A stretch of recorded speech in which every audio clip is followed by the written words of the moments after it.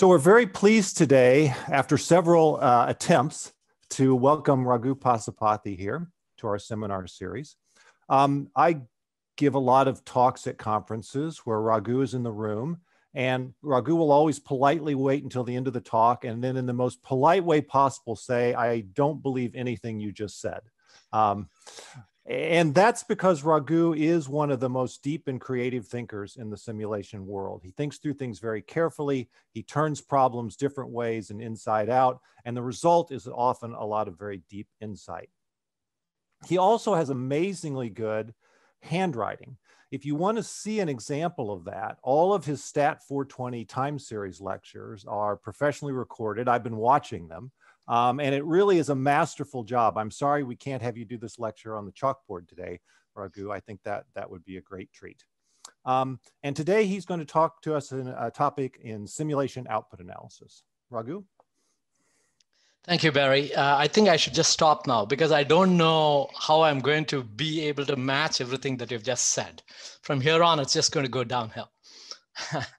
but in any case, uh, so should I, how should we do this? Uh, am I able to share my screen? Is that, okay, perfect.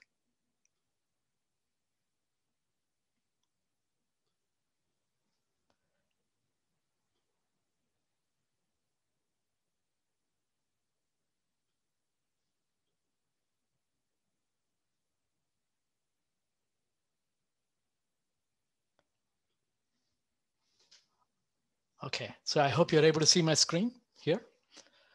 Uh, my name again is Raghu Pasupathy. I'm in uh, the Department of Statistics at Purdue. Uh, my talk for today is titled Inference on Statistical Functionals.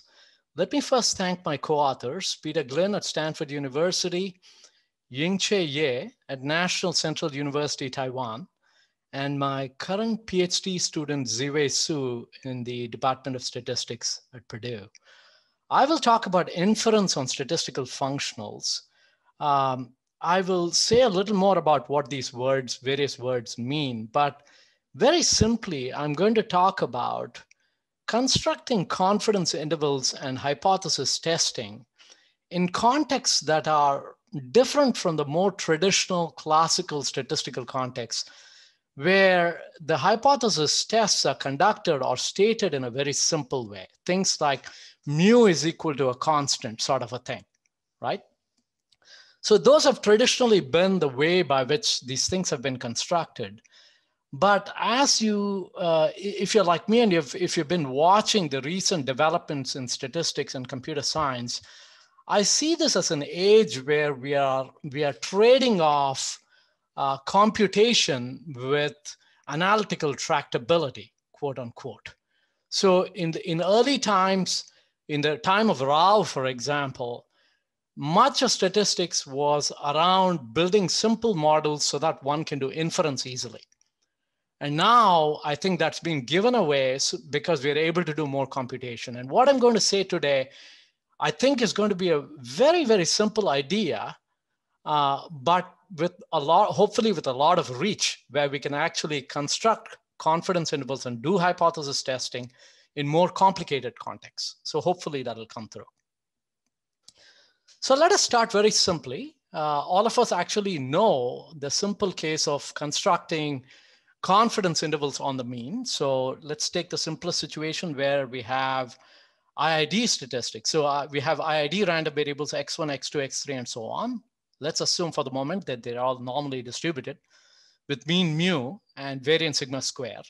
And we do the usual thing where, you know, on a basic class in statistics, we'd have learned that if you are uh, shifting and then scaling this random variable, so x bar minus mu divided by sigma over root n, is distributed as a standard normal, right? So we learned this from a first class in statistics.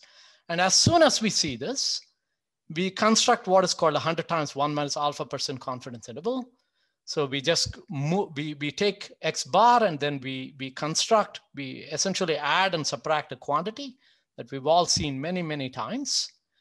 And in order to construct a one minus alpha over two standard norm, uh, Z alpha over two basically is a one minus alpha over two quantile of the standard norm, right? So this is the 100 times one minus alpha percent confidence interval. We all know this very, really, really well.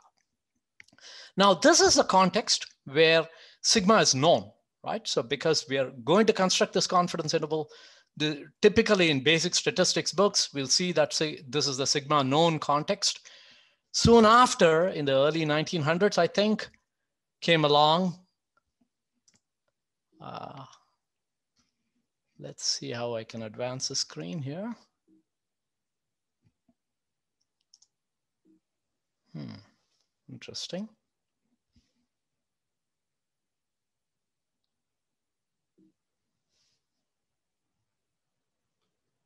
Okay, that's better. Okay, so in this context, in a situation where sigma is actually not known, uh, we, we come to the context of uh, student t statistics, right? So very famously, William Gosset, one of my most favorite researchers, particularly because he navigated uh, complex situations with uh, Karl Pearson and uh, Fisher at the same time. He, uh, he you know, consider a very similar context where you have x1, x2, x3, and so on until xn, IID normally distributed with mean mu and variance sigma square. But in this case, sigma square is not known. And so while constructing these confidence intervals, he noticed that sigma cannot be, uh, sigma is not known, but it can be estimated through the usual sample variance. And then constructed what is now called, famously called the student t statistic right? So you actually do exactly the same as what you do before, except that instead of plugging in sigma, you plug in a sigma hat, right? And you construct the corresponding confidence intervals, except that now instead of having a z-score, you have something called uh, um, the quantiles associated with the new distribution called the student t distribution. All of this is really, really well known to all of us. But let me actually, you know, point your attention to a couple of things. In order to construct confidence intervals of this sort, three things need to happen. One, you need an estimate of the mean, which is X bar. You need an estimate of what I'm going to loosely call the variance associated with whatever context you're situated in. So in this case, an estimate of that variance, estimate of the square root of the variance is what is called sigma hat. And then there's this quantity, in this case, in the, in the t statistic case, it's this quantity, which is the student t, corresponding to the quantile of some distribution. So in the first case, it was a normal distribution. The second case, it is a student t distribution. So these three quantities appear to be really crucial, and they're going to be carried through all over in our talk. Okay, so now let's ask the next obvious question. The, the question in both of these contexts is estimation of the population mean. The first context sigma was known, second context sigma was not known, but we were going after the mean, after the population mean. Now we ask the question, can we actually do this in a slightly more complicated context, a more modern context, quote unquote? Specifically, let's suppose that you're performing something like optimization or quantile estimation or gradient estimation using a data set, as has now become really, really popular and famous. Is there an analog of the student's T?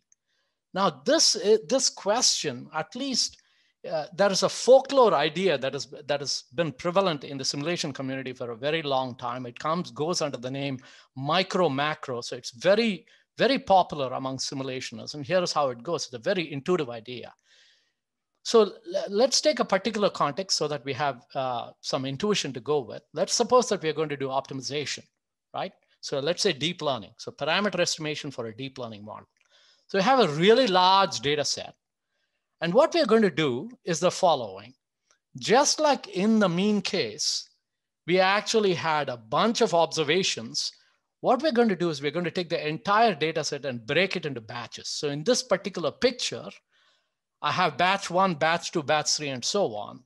So with the first batch, I do whatever I would do with the big batch. So in other words, if I'm doing optimization, I do optimization with the first batch. So I use this as a data set, as an individual data set, do my optimization, get my parameters, quote unquote. That is what I'm calling a batch estimate, in this case, Y1. I do the same with the second batch, same with the third batch, same with the fourth batch, and so on. So now what is happening is that these Y1, Y2, Y3, Y4 are in essence standing in for X1, X2, X3, X4 in the previous context. And thereafter, any inference that I want to do about the quantities that these Ys are estimating, I can treat them as individual observations on that quantity. And I can do statistics like I would do them in the, in the regular uh, uh, IID case or in the student T case, right? This is it. This is the essential idea. So the questions that we're going to ask is in this general context. Okay, so maybe I should stop right here to make sure that we are all on the same page because the idea doesn't, the, the broad idea doesn't go much deeper than this. Much of what I'm going to say hereafter is I'm going to formalize this and make this whole thing a little more precise.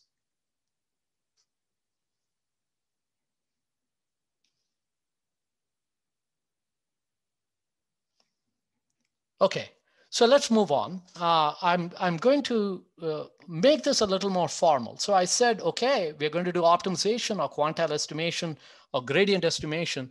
So the first obvious question that one should ask is, if I'm going to treat this in all generality as opposed to just mean estimation, in order to actually cover all of these contexts in one sweep, what is the correct mathematical object on which we should be considering confidence intervals, right? That's the first obvious question that one should ask.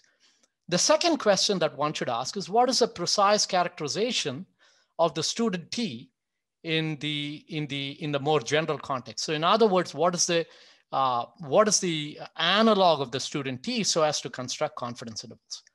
Number three, do these batches that I showed you earlier do they necessarily have to be uh, non-overlapping or can I actually overlap them?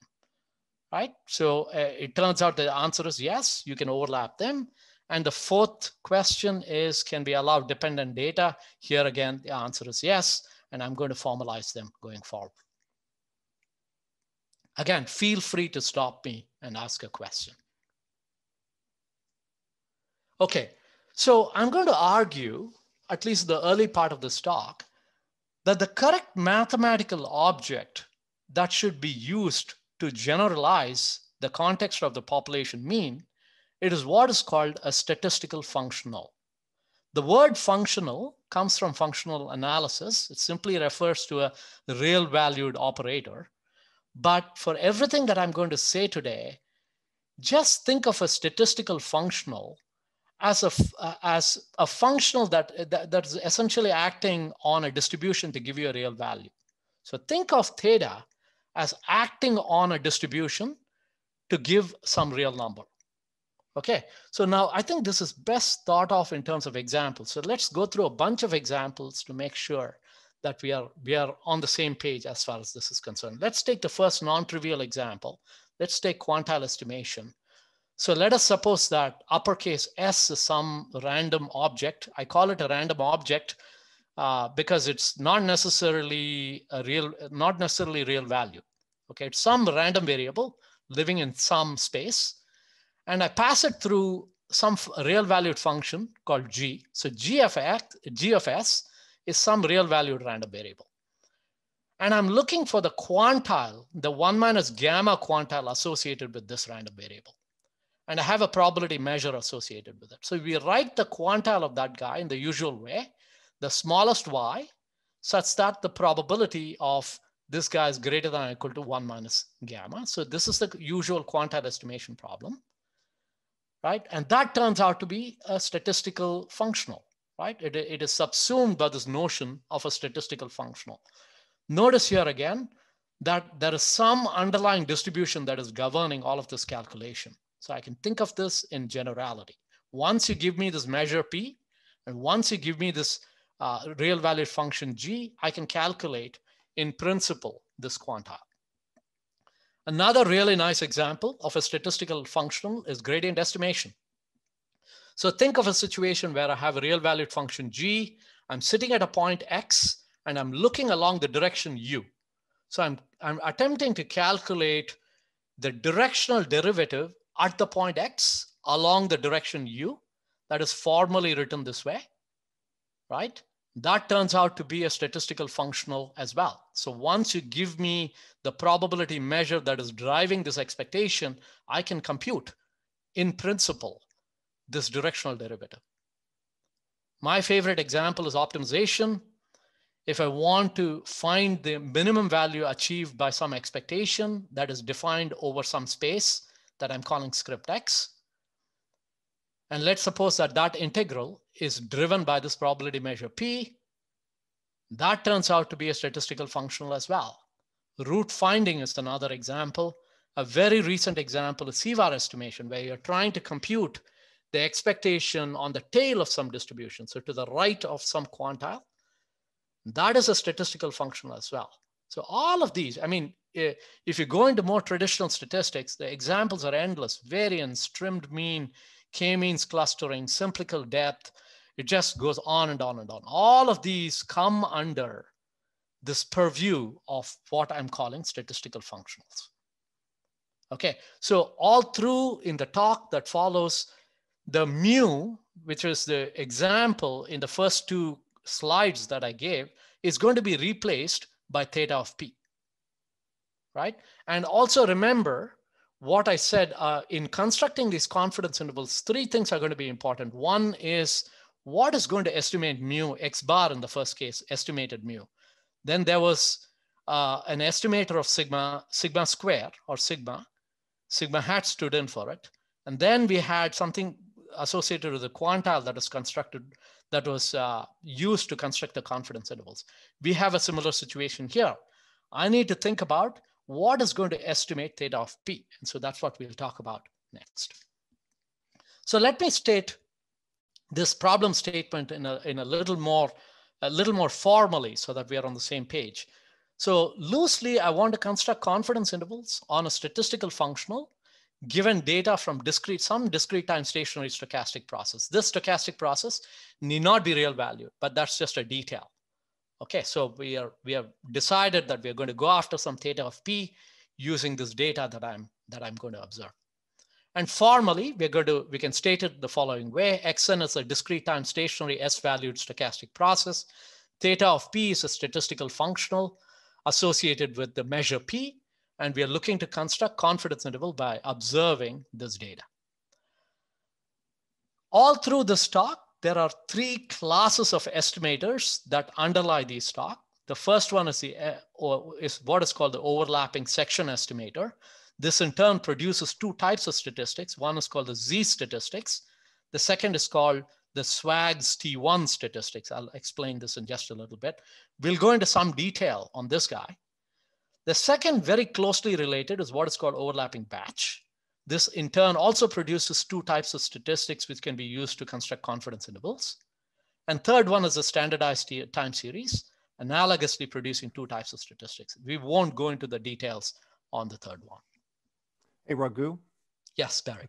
Um, if you're going to do it later, then don't answer the question, but I'd like to I'm interested in what the X process that you batched corresponds to in the optimization case. Ah, let's actually, let me actually answer that question now because I'm certain that other people are thinking about this as well. So, um, so let's just take the context of uh, stochastic optimization where you're doing parameter estimation using a very large data set. So what you then do is you, let's say you take a data set of size n you divide it into uh, sub data sets, each of which is a size little m. And you use each of these sub data sets to go ahead and construct parameter estimates. So you do optimization on that smaller data set. And the parameter estimate that you get from the first data set is what is called Y1, Y2, and so on. So think maximum likelihood estimation when you're doing maximum likelihood estimation, the individual data sets will themselves produce parameter estimates, quote unquote. Yeah, now I, now I understand what you mean. I was thinking more like optimization over structural parameters, numbers of servers and things like that. That was oh. So so now I understand the context. That's fine. Right. Okay. So uh, if you're optimizing over the number of servers, again, there's nothing in this picture that connotes the decision variable right? So right. everything is relating to the data that goes into the optimization problem. That was exactly the question I had. Thanks. Great. All right.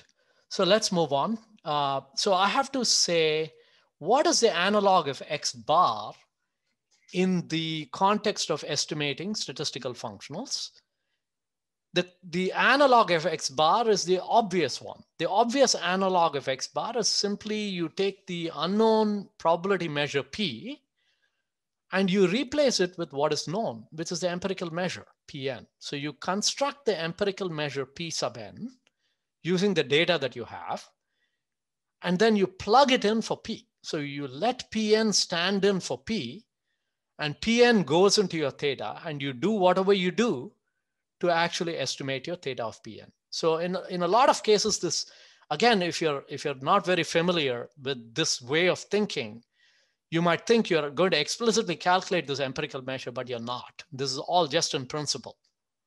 Okay, so you're just going to plug in the empirical distribution or your empirical CDF to construct whatever you want to construct to get your estimator of theta of P. And this is going to form the centering variable around which you're going to construct your confidence interval. All right, so once you see this, then the idea becomes very easy and simple. So, but but then let me just outline this to you over again, just so that we are on the same page.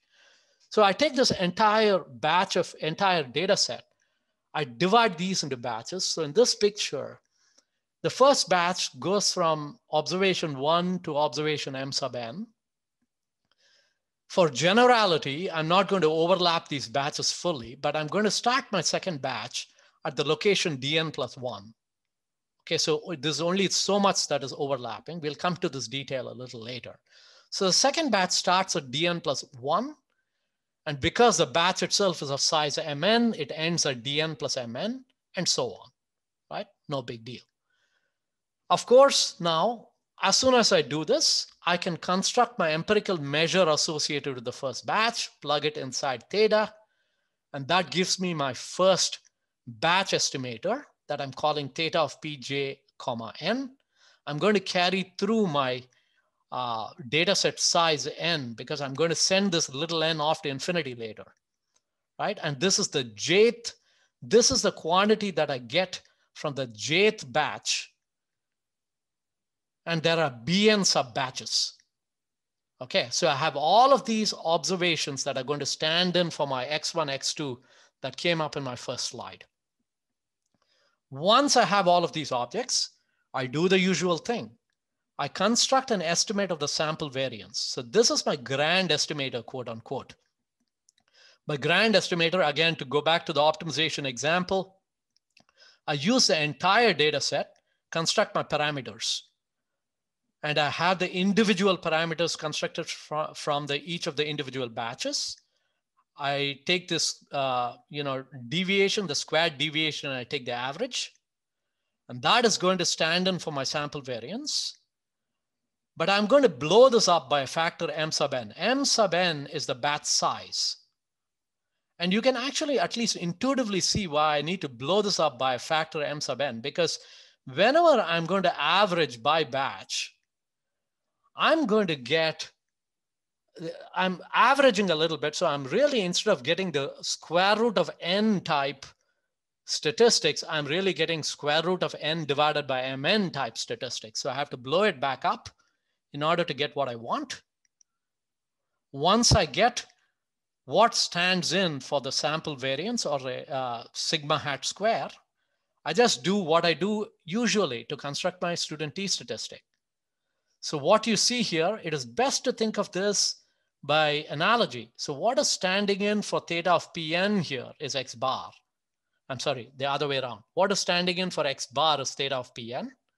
What is standing in for mu is theta of P. I blow it up by a factor square root of n, which is the data set size. And what is in the bottom is the scaled chi-square uh, square root quantity, or the other way of thinking about this is square root of sigma hat square. So this is precisely analogous to the student T. Once you have this, you construct your confidence interval in the usual way. You center it around the quantity that you're going to estimate, plus or minus. So I told you again right in the beginning that there are three quantities that are of interest that's good, that are going to play a role. The analog of X bar, the analog of sigma hat, divided by root n and the analog of the student t, uh, critical value. So these three quantities show up all over again in the general context as well.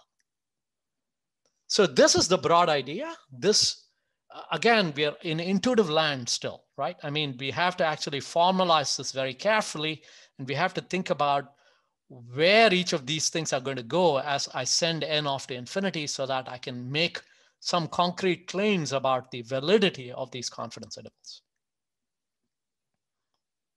Okay, so uh, the obvious question then is, from here on, going forward in the rest of the talk, we are going to focus almost fully on the behavior of this statistic as the batch sizes and the total data set size goes off to infinity. In particular, I'm going to talk about how this quantity or this random variable is going to behave. And I'm going to give the secret out right away. This is going to converge to a very particular type of distribution, depending upon how MN is going to behave or the batch size is going to behave. We're going to give it a particular name, and we're going to be able to construct quantiles associated with that distribution. That's it. That's, uh, that's really it at some level. So here again, let me stop to see if there are questions before I move forward. Because hereafter, it's going to be much, a lot of analysis, quote unquote. Can I ask a question? Sorry. Yes, please.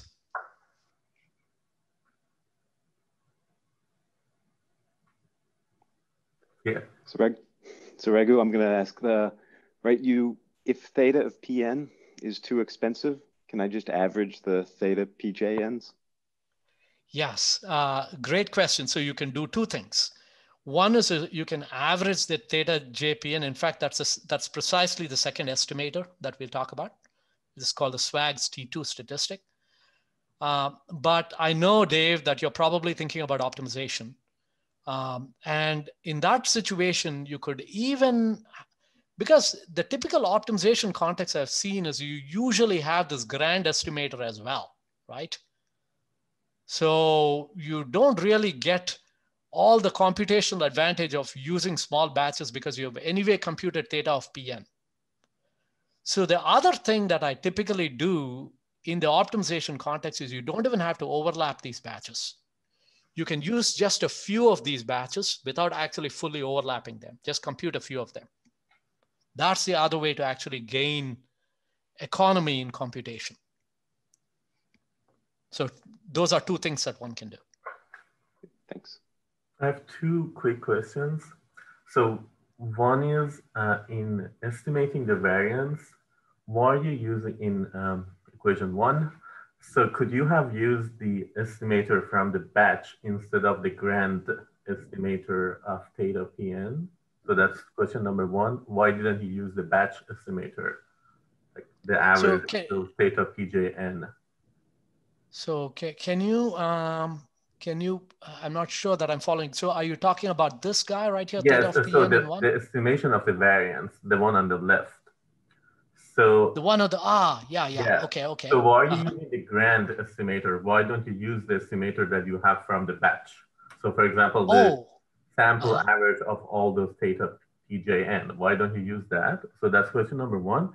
And uh-huh. to come up with the lambda um, critical values. So did you mention that you're going to go after the distribution of the variance and come up with those quantile information from that distribution or? Yes, precisely. That's okay. that's going to be the rest of the talk. We are going to talk in detail about how this guy behaves so that we can construct quantiles from that distribution. Okay. So how, okay. how about the first, the, the first one that I, um... yeah, so there are two answers to that question. The first answer, the, the more direct answer is that it turns out that theta PN is a better estimator than the average of the batches because you're using a larger data set, data size, quote unquote. So uh, this turns out, it turns out is a better estimator than simply using the average of the batch estimators. But you could use the average of the batch estimators as well. This goes to Dave's question, and that's that is the second estimator that I will be presenting. So instead of using the grand estimator, if you use theta bar of these guys, that gives you a slightly different limit of this, uh, and one can use that as well. Thank you. So, uh, Raghu, I have a question. Yes. Yeah. So, if your batches come from um, Bootstrap, Bootstrap sa sampling, Ah. does it Uh-huh, uh-huh. does your methodology apply to that? And does the usual Bootstrap in confidence interval better or worse than what you are constructing for, let's say, just for the mean? Okay, so can you can you actually say more specifically how you are going to bootstrap? Because the detail, that detail is important. So, if I just use the usual sampling with replacement, Uh-huh. So and you're using sampling with replacement. Ah, I see, I see. Um, no, this uh, this theory will not hold good there. No, it will not go through. So whatever I'm going to say going forward will not apply to the bootstrap. I mean, it would be interesting to kind of investigate how to extend this to Bootstrap with different modes of sampling and so on. Yeah, I almost certainly. Yeah, I think so. I have not thought about it. That's a good Okay. question. Thank you. Yeah.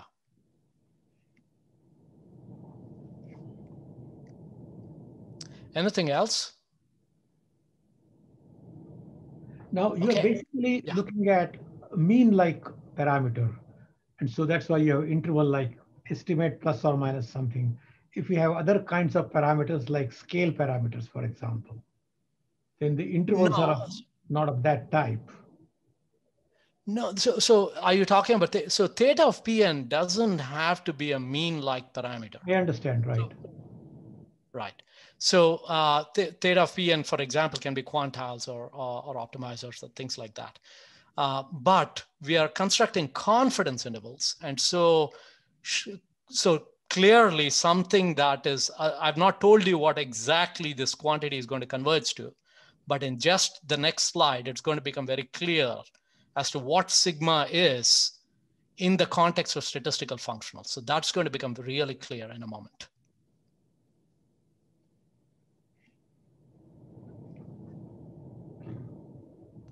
Okay, so uh, let's go forward. So I'm going to I'm going to state five assumptions that are going to be really important going forward.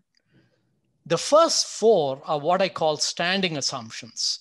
So because we don't have the context of a mean, we need some assumption associated with the CLT in order for all of our theorems to go through. So the first assumption is a CLT. So uh, the grand estimator that we call theta of Pn minus theta of P scaled appropriately by root n has to converge to a standard normal. That's the CLT.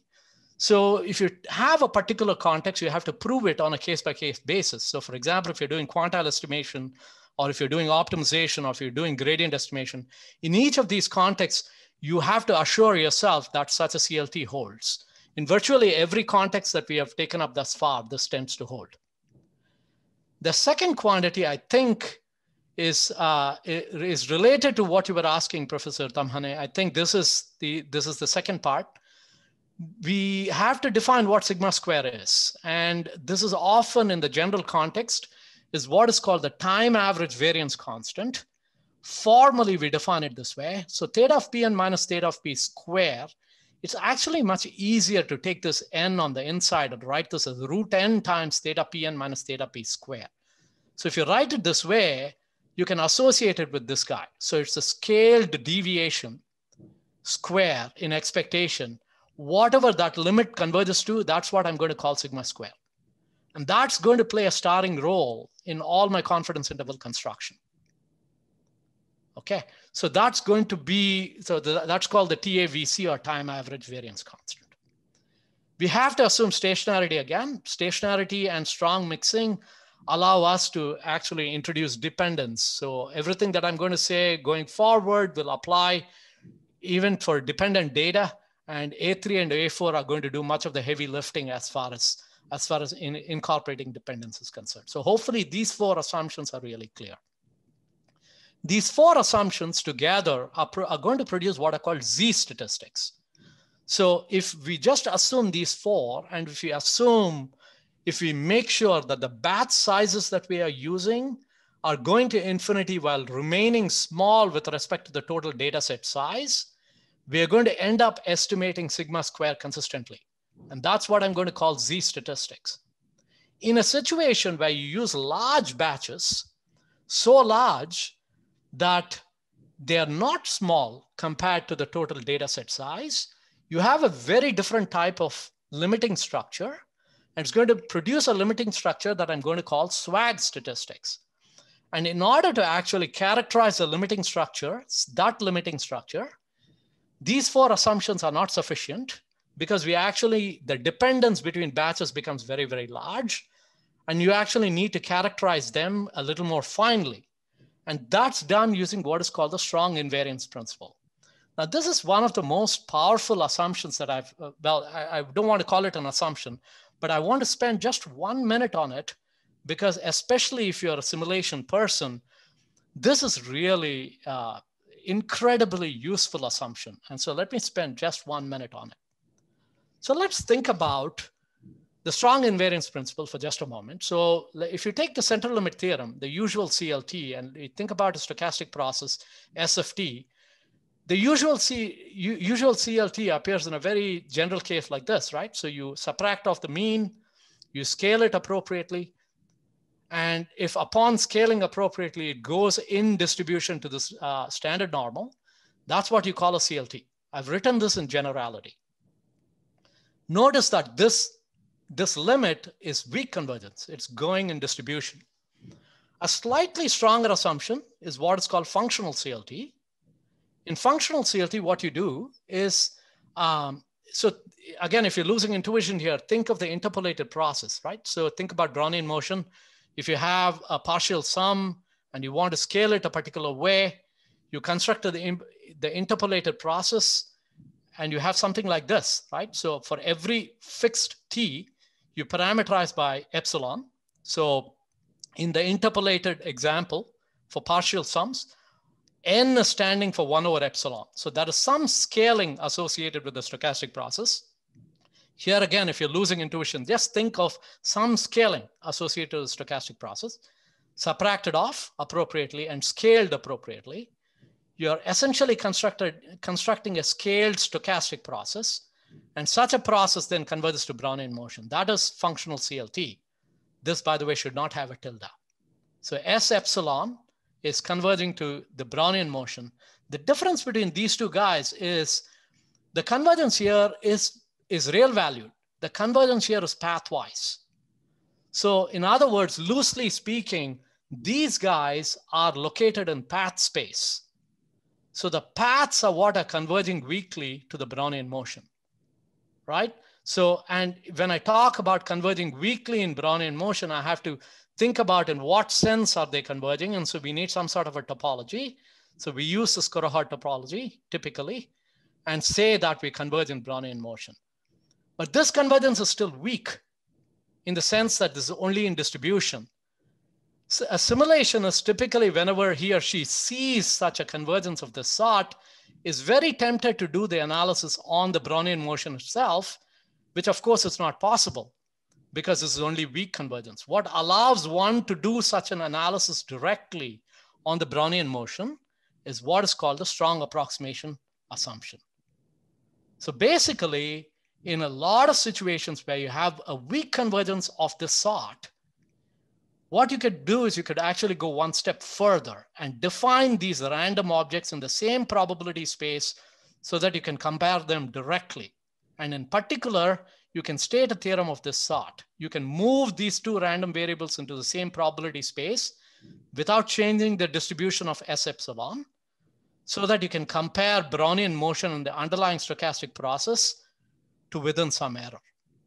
The advantage that this gives is that all of my analysis can be done on the Brownian motion. So for example, if you want to invoke things like the maximum of a Brownian motion, or if you want to do things like law of iterated logarithm on the Brownian, on this process that you've constructed, you can do it on the Brownian motion to within this error. And that's what this gives you, uh, allows you to do. In our context, there's a lot of dependence across batches that's going to show up. So we are going to invoke or directly go to Brownian limit. And then we're going to invoke the strong approximation to say that whatever deviates from Brownian motion is very small. And so the limit theorem is going to go through. So this is the power of strong approximation. So again, strong approximation is the strongest, typically implies the functional CLT, which then implies CLT just to just to make sure that we are on the same page. So loosely strong approximation allows the process of the Brownian motion for pathwise analysis. This started, this work started all the way in 1975 by work by Philipp and Stout, and thereafter by uh, Peter Glynn and Iglehart, Don Iglehart, and this beautiful set of papers uh, during that time. So let me get out of this aside and let me go back to our main, main results. Okay, so in the following slides will be the crux of the main theorems that I will present. Like I said earlier, all of our results fall in two broad categories. One is the small batch and the large batch category. So this picture should guide your thinking. So in the first situation, the batch size goes to infinity, but the batch size is small compared to the total data set size. In such a case, we get what are called Z statistics. And in the other situation where mn goes to infinity and n also, of course, goes to infinity, but mn is of some uh, of is of the same order as n. So mn over n goes to beta 1, which lies in the in, in the open interval 0 to 1, right? When this happens, you, you don't get consistent statistics, but instead it goes to a completely different distribution. So let me state this again more formally. Here again, we are leading up to the theorem. So I, I still want to give you more intuition. So this again is a synopsis of the results.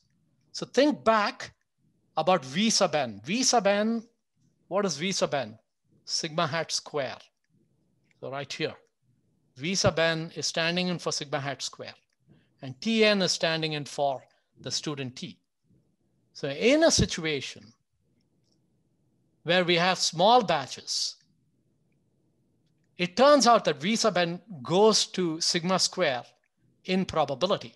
So we get strong estimation of sigma square. And you can actually sense why this is true.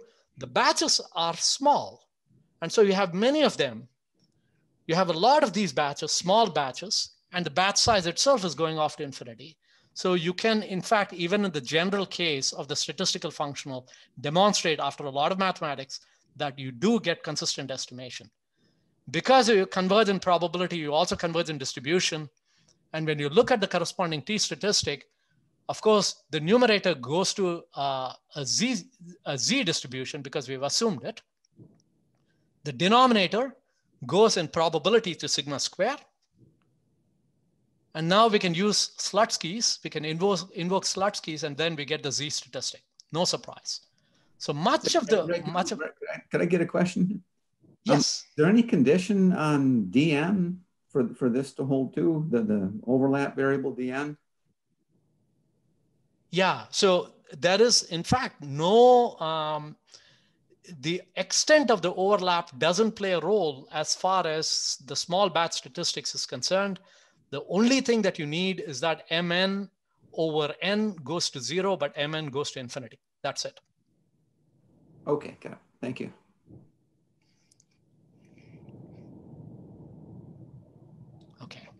Uh, and then, so this goes to the Z statistic. And uh, in the second case, where there's large batches, you don't get you don't get consistent estimation. So sigma square is not estimated consistently. Instead, what happens to the analog of sigma, sigma square, which is sigma hat square, is that it goes to a random variable. It goes to sigma square times what I'm calling cap lambda. This cap lambda is a new random variable, quote unquote. It's the analog of the chi-square random variable. And so when you plug it in into the student t, here again, the numerator looks like a normal, the denominator looks like a scaled chi-square, and you end up getting a random variable that looks like this. I've not yet told you what cap lambda is, but I will, I will show this to you rigorously in the next slide. You get a limit that looks like this. This is what we are calling the SWAGS T1 random variable. SWAGS T1 named appropriately is, is the analog of the T statistic. The, the letters SWAGS stand for the uh, stand for Bruce W. Schmeiser, James Wilson, Christos Alexopoulos, David Goldsman, and Lee Schruben. These are the authors. I mean, the the the um, the literature associated with this corresponding random variable in the context of estimating steady state mean is 30 to 40 years old and it's very, very deep.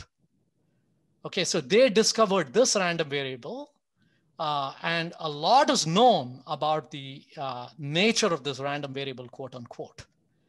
And one has to see this work as essentially an extension of that work into the context of statistical functions. So basically at some level, we are saying, yeah, it's okay. And we have identified this particular random variable and we can construct quantiles associated with this random variable so that we can correspondingly construct confidence intervals.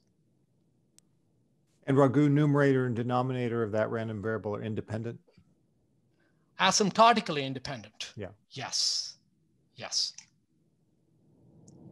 Okay, so now I'm going to say a little more about this random variable. I'm going to first state this formally in the form of theorems, and then we're going to talk just for a few minutes. I still have about 13 minutes, I, I see. So 10 minutes. So uh, we'll talk about these, this random variable. All right, so the, the Z statistics first. So in the context where Mn or N goes to zero and the batch size goes to infinity, we get consistent statistics, Tn goes to normal. Now, there's one other little detail that one, one needs to think about here. Notice here that in Z statistics, we are actually estimating sigma square consistently, right? So we are actually, in order to construct confidence intervals, it turns out you don't have to actually estimate sigma square strongly you can cancel them out. They up, the sigma appears in both the numerator and the denominator.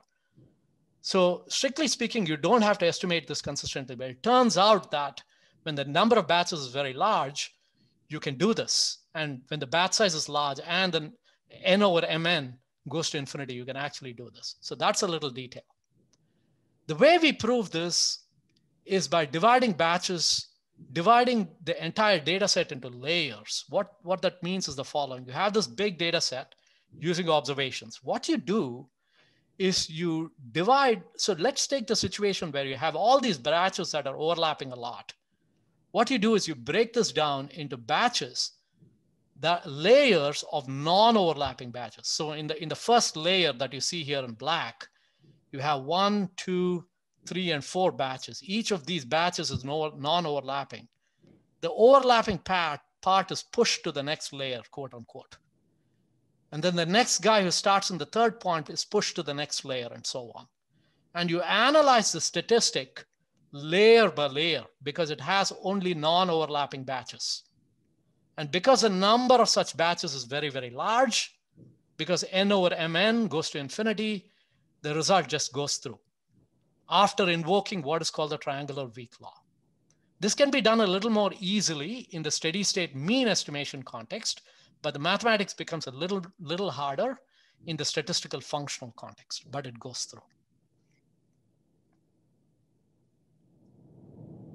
Now we come to the SWAGS T1 statistics. This in some sense is, uh, in my opinion, the most thrilling part because even in a situation where you don't estimate sigma square consistently, you get something interesting because Vn actually converges to sigma square times what I'm calling cap lambda. You can guess that cap lambda should look like the chi-square and it precisely looks like that. So if you look at cap lambda, notice it is, so if you bear with me, let me actually take you back all the way back here. So if you loosely think about this random variable, this guy is looking like a squared normal and the number of batches Bn is going off to infinity. So this should look like an integral of squared normals. Squared normals after scaling is basically chi-square. So it should look like a chi-square being integrated out. That's precisely what you get here. So you have a Brownian motion this is standing in for the overlapping batches, subtracting off the Brownian motion observed at one, standing in for the grand estimator. You're subtracting this guy from this guy and squaring it. So this is standing in for chi-square. And you're integrating it out. And this beta 1 is, is a scaled batch size. So it's the blow-up factor that you saw right in the beginning, the MN factor. So cap lambda converges to this random variable. And this is what we are calling cap, uh, this is what we are calling cap lambda. Once you divide through here, in order to get such weak convergence, we invoke the strong law again, strong approximation again. That's really it. So it is very, very intuitive. Now the math, the algebra should be intuitive, but let me actually spend, because I'm running out of time, let me actually show you, show this to you in a picture to give you a little more intuition. What I've plotted here is the uh, cumulative distribution function associated with SWAGS T1. Okay, and what you're seeing is really the CDF in the positive orthant. So if you want a complete picture of the CDF, just reflect it off the y-axis and then again reflect it off the x-axis. So it's symmetric into the complete negative orthant. So I'm showing you only the positive orthant. So there are two envelopes. The lower envelope is basically the student T with degree of freedom equal to one. The upper envelope is student T with degree of freedom equal to infinity, which is the normal distribution. And all the way in the middle, you get what are called these SWAGS T1 distribution. So, and the way it evolves is that as beta 1, remember what beta 1 is, it's just the batch size that is scaled. As beta 1 increases, your MNs are increasing, your batch sizes are increasing. So this is beta 1 equals 1 half. This is beta 1 is equal to 1 tenth. So as the batch size is getting smaller and smaller, you're approaching the, the standard normal. As batch size is getting larger and larger, you're approaching the student T with de degree of freedom equal to one. To see why this is very, very important, let's take the 0.9 quantile, right?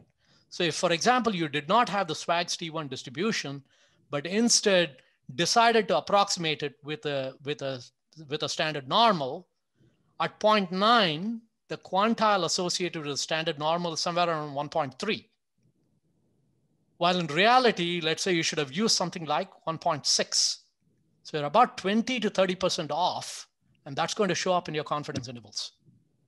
So it can be quite, quite a difference if you end up using the wrong distribution.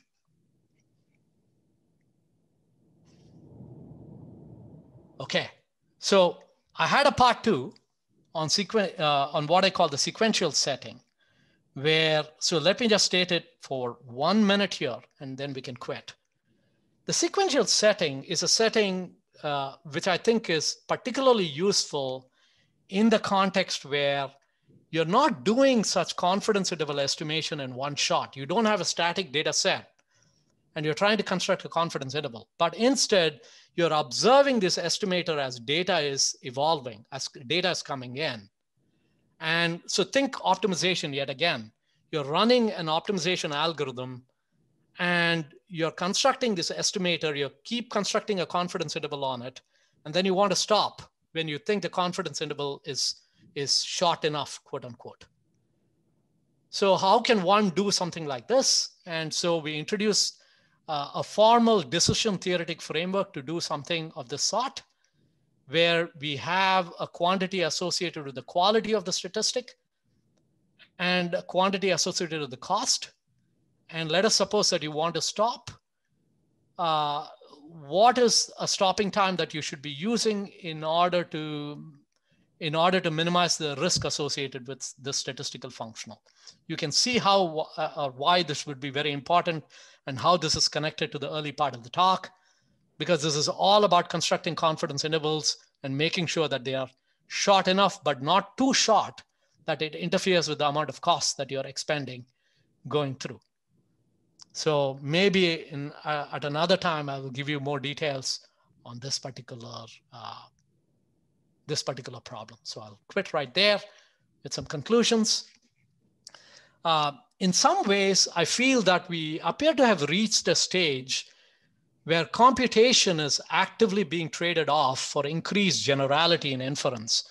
Uh, recently, particularly, I've been seeing a lot of papers uh, in statistics where people are using non-standard hypothesis tests. So what I mean by that is instead of using simple tests where, where you say mu is equal to some constant and you're doing hypothesis test on it, you have more complicated hypothesis tests. And in order to actually construct test statistics on it, you have to do a lot of computation. So this appears to be the trend. And this makes a lot of sense. Uh, you're, you're actually trading off analytical tractability with computation, I guess. And this, again, is in some sense, uh, is an example. We are, we are pushing into slightly more complicated situations where we could potentially do some inference. Z and swag statistics can be applied to inference, I think, in context much wider than the traditional steady state mean context.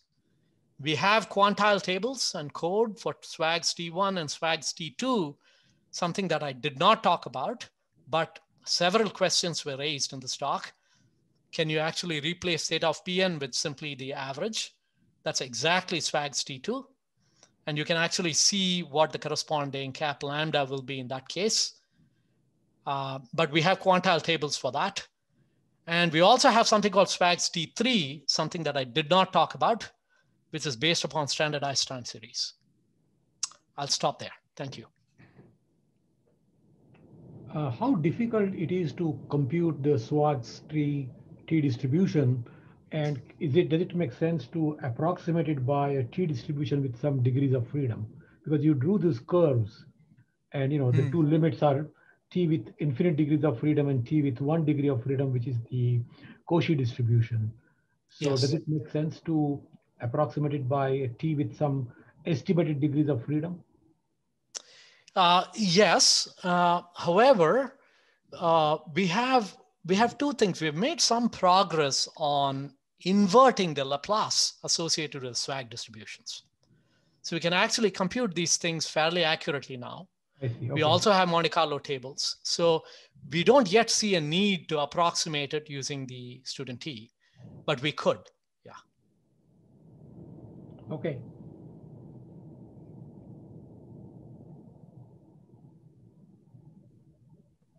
Raghu, I assume there have been some experiments to look at small sample behavior? Yes, uh, the experiments have been have been very mixed thus far. So we've been, we've had a lot of success in, of course, there's been 40 years of literature on steady state estimation, steady state mean estimation. That's a big success of the simulation community, I think. We've had a lot of success with quantile estimation. Uh, we've had a lot of success with CVAR estimation. Uh, with optimization, we are still with we are still not yet there, quote unquote.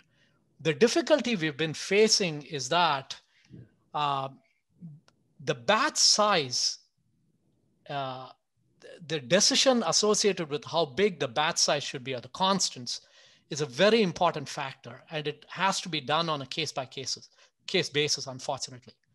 The constant that appears on the higher order bias terms, it turns out happens to do with a particular context, and that needs to be done on a case by case basis, unfortunately.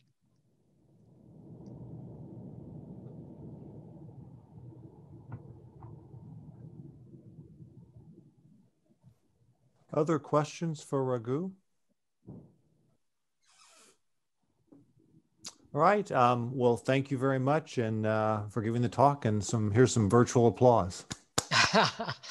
Thank you. Thank you very, very much.